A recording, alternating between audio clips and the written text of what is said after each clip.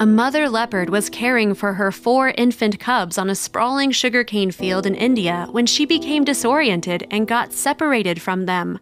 That's when farmers suddenly found the nest of baby leopards and knew they needed to reach out to experts for help.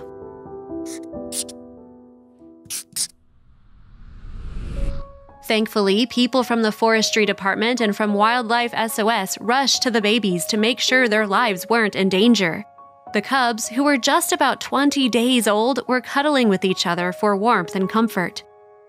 And this family isn't alone in its struggles. Because their forests are increasingly cut down, leopards have to figure out ways to live without their natural habitats. Due to a variety of factors, including deforestation, habitat encroachment, and poaching, leopards are continuously forced to leave their forested homes and move out into buffer areas, Wildlife SOS explained in a release.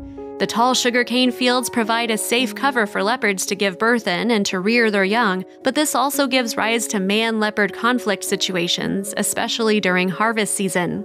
Also, if you have not done so already, please subscribe to our channel and click that notification bell to get inspired by these animal stories every day. Now, back to the story. When mother leopards become separated from their babies, they can become frantic and aggressive, so the team of veterinarians knew that it was urgent to get the cubs back to their mom as soon as possible. After a quick check to make sure the cubs were healthy enough to be released, they started to figure out how to reunite the cubs with their worried mom. The local villagers had to be convinced that releasing the cubs was a good idea. They were scared that this would mean an agitated leopard would be close by, so rescuers explained that the mother leopard would only be aggressive if she felt her babies were in danger. They were more understanding of the situation on realizing that this would only incur the wrath of the mother leopard in search of her missing cubs, Wildlife SOS said. We would like to ensure that leopard cubs that get separated from their mothers don't end up in captivity if we can help it, Kartick Satyanarayan, co founder and CEO of Wildlife SOS, said. We want them living freely in their natural habitat and to learn the skills of survival in the wild. Rescuers placed the cubs in a safe crate and put the crate in the field near where the mother leopard had been spotted. A hidden camera was also placed near the scene. It only took about an hour for the mother leopard to emerge from the forest and rush toward the crate, sniffing curiously around it before pushing the top off. One can only imagine the feeling of relief the mother had when she saw all four of her cubs snuggled up together, waiting for her.